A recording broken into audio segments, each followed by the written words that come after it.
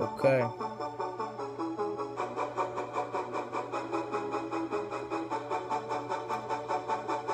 The issue with these thugs is they too focused on the bread. Married to the green, they going crazy all up in the head. You better make that money fast and watch out for these fucking feds. Remain ruthless, but gangsters are ignorant. Instead, they don't give a fuck as long as the family's fed. Listen to yourself, not what these other rappers said. What's the point of sacrifice when your body is full of lead? Live up to your name, but you can't do it when you're dead. Don't hate me because you know that I speak the truth. I want everyone to hear me out when I step in the booth. Being smart is all about your ride or die crew. Expanding is key, so you gotta go recruit. Read the way they act, so that pussy won't snitch on you. That seems to be the mistake that all of these gangsters do. So think about your actions before you get down. Remember your little daughter on the merry-go-round. Everyone has priorities, but only our conscience knows. The voice up in your head saying that you gotta keep it low. Because the more your name gets out, the more dangerous it is.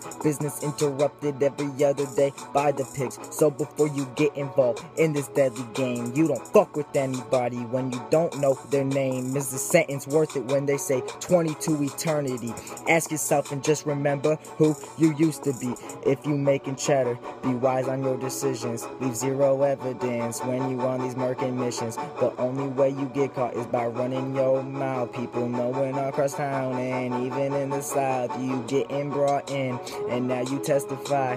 Put your hand up on the book saying you ain't gonna lie. Some people break like eggs, others would rather die. Trying to charge you with a sentence of homicide, but one of your boys just fucking snitched you out. The shit that all these thugs claim that they ain't about. Your ride or die, homie, just turned against you. But that's the way it goes, and now you're locked up too. I know we all wish that we can predict the future to know the proper soldier that should be the shooter. The talk out in the hood is Lil G is in the sewer. A real ride or die will tell him that it's just a rumor. No explanation behind how he has some scars or about driving around in town in these fancy cars, keeping it low key because people thinking we bizarre. But that's just how you live on the right side of the bars. If that's a problem right now, just give up and disengage. You listening up? Are we on the same page? Now you just turned 18. That is the voting age.